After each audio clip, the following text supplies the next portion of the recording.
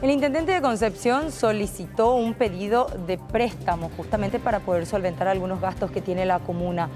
Sin embargo, esto generó todo tipo de discusiones, hasta llegaron a la violencia algunos, porque entre petardos y golpes tuvieron que salir los concejales municipales de este punto en el momento en el que querían retirarse.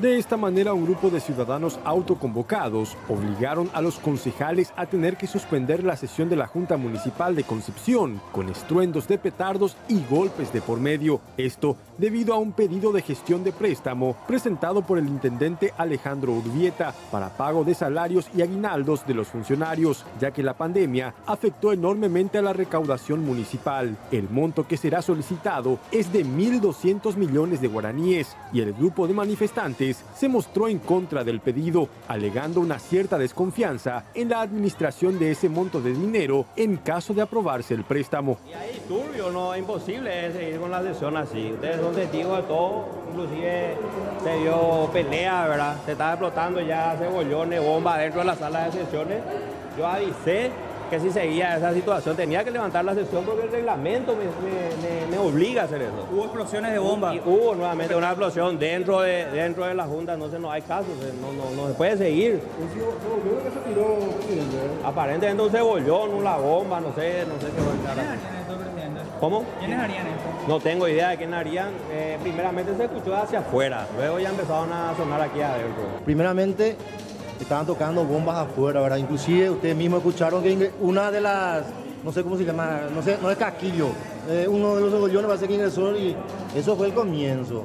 A partir de ahí hubo algunos que otros gritos, griteríos y el, el presidente resolvió alzar. Ahí ya empezaron a tirar un cebollón que explosionó ahí en medio de la, de la junta.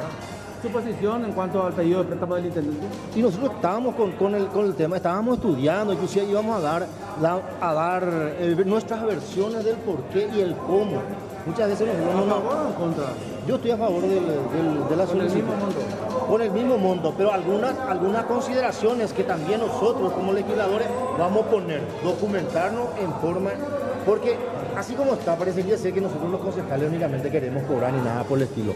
El fin de esto es que, los funcionarios, tan los más vulnerables, cobren. Y hemos puesto un, un cerrojo en ese sentido. Si eventualmente existiera para nosotros, está bien, no hay problema. Nosotros el tema de aguinaldo cobramos nomás localmente. Oreo y capturo y por sobreviví tal vez. Pero hay otra gente que no lo pueden hacer lastimosamente. Y este es un momento muy especial, fin de año, llega Reyes, demás cosas. Eso es nuestra intención, pero en base a documentación. Finalmente, en una sesión extraordinaria convocada por los ediles, horas después de la incidentada sesión, se aprobó el pedido de inicio de gestión de préstamo, aunque los concejales solicitaron varios documentos al Ejecutivo para la próxima sesión.